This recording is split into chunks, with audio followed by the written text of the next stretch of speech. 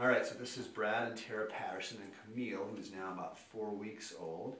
And so tell us first of all, just kind of how was Camille's birth process? Um, well, it didn't exactly go as planned. We ended up having to do a C-section with her, um, and um, ended up having the cord around her neck and stuff. So there was a lot of tweaking and kind of pulling on her to get her out safely.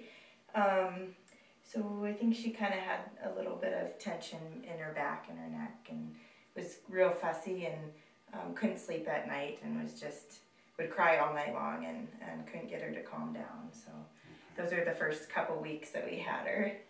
Yeah, so that's tough. And then and I think you're saying too about her spitting up and, and Yeah, she was and- projectile vomiting across the room and across the bed, and um, just was pretty pretty upset and not feeling well Yeah. at all. Which is you know, your parents ever had that it's a, it's a tough that's a tough thing to deal with so and then she came in we brought we had her last friday so she's about three and a half weeks old at that point. point and we checked her spine we found pressure at the top of her, of her neck which is unfortunately can be real common with a, the birth process especially a traumatic one like that and then now we got her first adjustment and tell me what happened first of all that day after the adjustment Um, what was the difference Well, she didn't spit up at all that day. I mean, in, instantly after it, we, the car ride home, she was a totally new baby. She slept all the way home and um, happy all day long on Friday and was just slept through the night starting Friday night. And since then, we've had no, absolutely no nights where she's been up other than just to eat. So Wow. it was incredible and no no throwing up across the room or anything like that. So she still spits up like a normal baby, but